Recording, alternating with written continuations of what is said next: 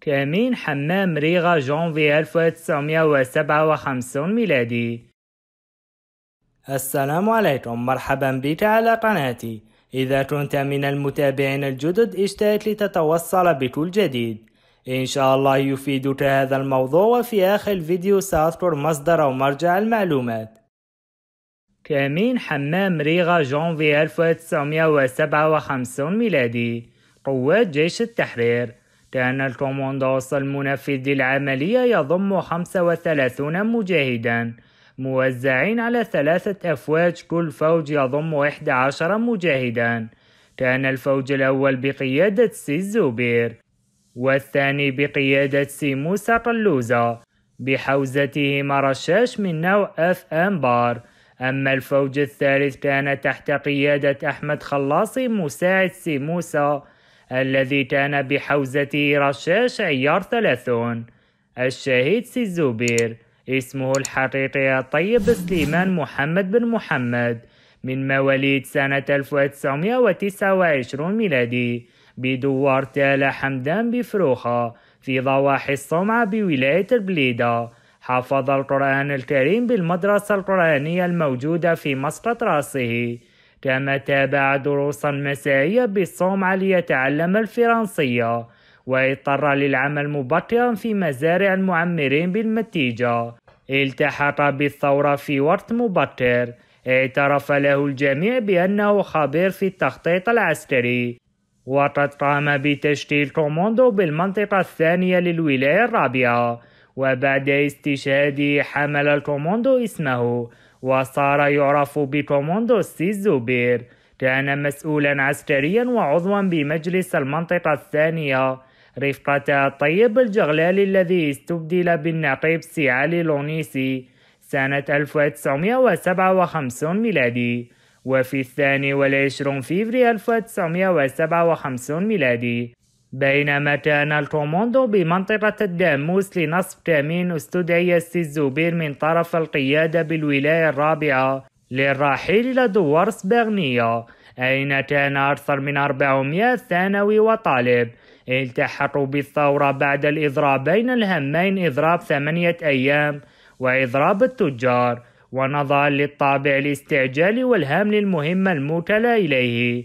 قرر الزبير الذهاب بمفرده وكان من بين المهام التي أوكلت إليه. التكفل لهذه الوحدة الهامة من الطلبة واتخاذ قرار بشأن تحويل كل واحد منهم إلى الوحدات. تعيين محافظين سياسيين إرسال بعض الطلبة إلى الخارج. وكان يفترض أن يلتحق به الكوموندو الذي كان يشرف عليه إلى سبغنية إلا أن الأعداد الكبيرة للطلبة بالدوار وإقامتهم الطويلة به. سمحت لأحد الجواسيس بالتبليغ عنهم لدى السلطات الفرنسية. وفي يوم الثاني والعشرون فيفري 1957 ميلادي. وفي حدود الساعة الثالثة بعد الزوال وجدوا أنفسهم مطوقين بخمسة عشر طائرة مروحية من نوع سيكورسكي فأمر الطلبة بالانسحاب صعودا مع الوادي بينما بقي وحده يطلق النار على طائرات العدو. قصد منعها من الهبوط وإنزال الجنود. فبدأ الجنود يطلقون النار عليه من الطائرات. فأصابته رصاصة سبعة اثنا عشر لتستقر في عنقه وكانت كفيلة لقتله. وقد استشهد معه حوالي 27 طالبا من بينهم فتاة. القوات الفرنسية.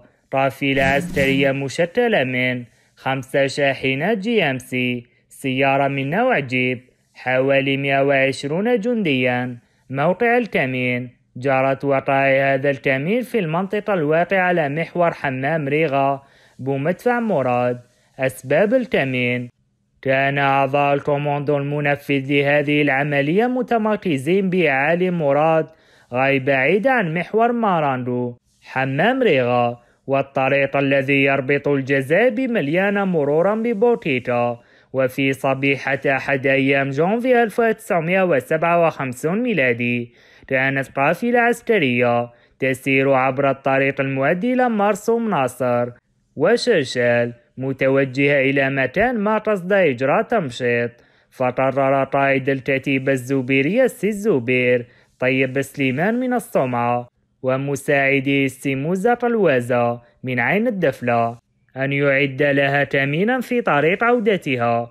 وما تجب الإشارة إليه هنا أن القافلة كانت تستطلعها طائرة جاسوسة من نوع بيكوب لتفتح لها الطريق على مسافة تتراوح بين 300 إلى 500 متر وكانت تتفحص بدقة متناهية كل جوانب الطريق والمساحات المجاورة لكشف أي حضور مشبوه أو غير عادي. خطة الكمين. وضع فوجين على جانبي الطريق والحرص أن لا يكونا متقابلين.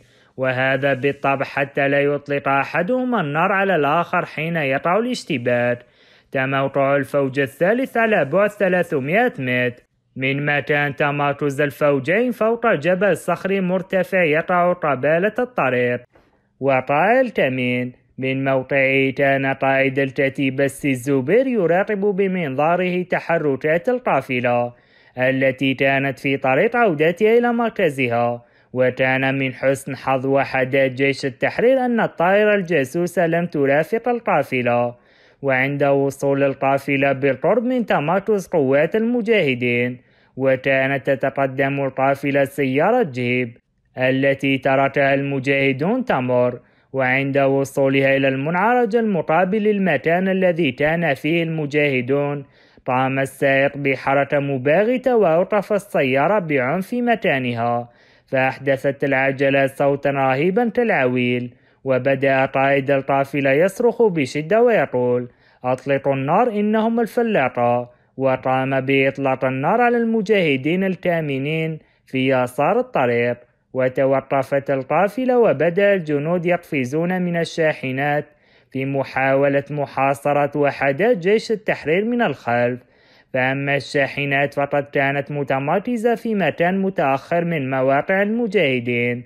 أما ركاب السيارة فراحوا يطلقون النار عشوائيا قبل تعرضها لطلقات جيش التحرير. مما أدى إلى انقلاب السيارة ومقتل كل من كان على متنها بينما احتمى جنود القافلة تحت الشاحنات إلى غاية وصول المدد الجوي بعد ابتعاد المجاهدين عن ميدان القتال. نتائج الكمين في صفوف جيش التحرير لم يغنم المجاهدون أي سلاح لم توجد خسائر بشرية في صفوف القوات الفرنسية. مقتل قائد القافلة وثلاثة من الضباط وسائق سيارة جيب. اللهم صل على محمد وعلى آل محمد كما صليت على إبراهيم وعلى آل إبراهيم إنك حميد مجيد. وبارك على محمد وعلى آل محمد كما باركت على إبراهيم وعلى آل إبراهيم إنك حميد مجيد.